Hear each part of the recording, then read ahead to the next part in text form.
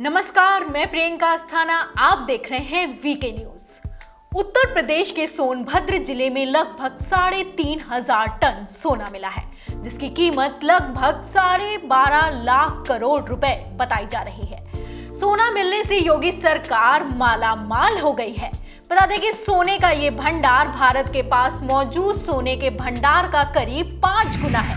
इससे साबित हो जाता है कि आखिर भारत को क्यों सोने की चिड़िया कहा जाता था? सोनभद्र में इतना सोना देखकर पूरे विश्व की निगाहें सोनभद्र पर आकर टिक गई हैं। इसी वजह से अब सोनभद्र सोशल मीडिया पर भी ट्रेंड कर रहा है। लेकिन जहाँ एक तरफ़ इतना सोना पाकर भूवैज्ञानिक अचंभित हैं, तो वहीं दूसरी तरफ़ सोने के साथ कुछ ऐसा मिला है जिसे जानकर आप हैरान रह जाएँगे। आपने अक्सर फ़िल्मों में देखा होगा कि जब भी सोने की खान मिलती है तो उसके रक्षक भी उसके साथ मिलते हैं। और ये रक्षक कोई और नहीं बल्कि ऐसे जीव होते हैं जिनके काटने के बाद डॉक्टर तो क्या भगवान भी नहीं बचा सकता।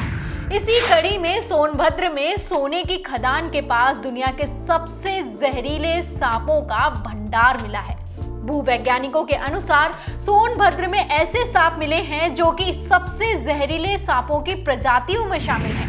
बता दें कि यहाँ पर विश्व के सबसे जहरीले सांपों की प्रजातियों में से तीन प्रजातियाँ, रसेल वाइपर, कोबरा और करैत का डेरा है। ये तीनों प्रजातियाँ इतनी जहरीली हैं कि किसी को काट ले तो उसका बचना नामुमकिन है। बता दें कि ये विश्व के सबसे जहरीले सांपों में शामिल रसेल वाइपर की प्रजाति होती है, जो कि उत्तर प्रदेश के एकमात्र सोनभद्र ज़िले में ही पाई जाती है। अब आपको समझ आ गया होगा कि आखिर ये प्रजाति सोनभद्र में ही क्यों पाई गई है?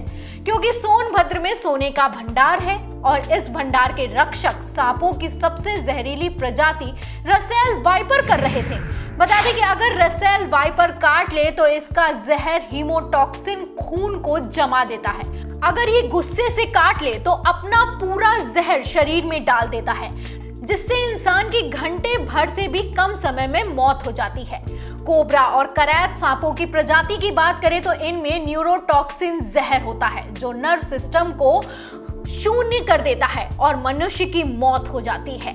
अगर कोबरा सांप काट ले तो सूजन होती है, लेकिन करैत का काटना तो पता भी नहीं चलता।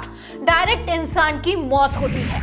बता दें कि विश्व के सबसे जहरीले सांपों की कई प्रजातियाँ ऑस्ट्रेलिया के जंगलों में भी पाई गई थी। वन्यजीव प्रतिपालक संजीव कुमार के मुताबिक दुर्लभ प्रजाति के सांपों के अस्तित्व को देखते हुए ऑस्ट्रेलिया में कोयले की खदान खनन प्रक्रिया पर रोक लगा दी गई थी। इसका मतलब है कि सोनभद्र के इन सांपों की प्रजातियों पर खतरे के बादल मंडरा रहे हैं।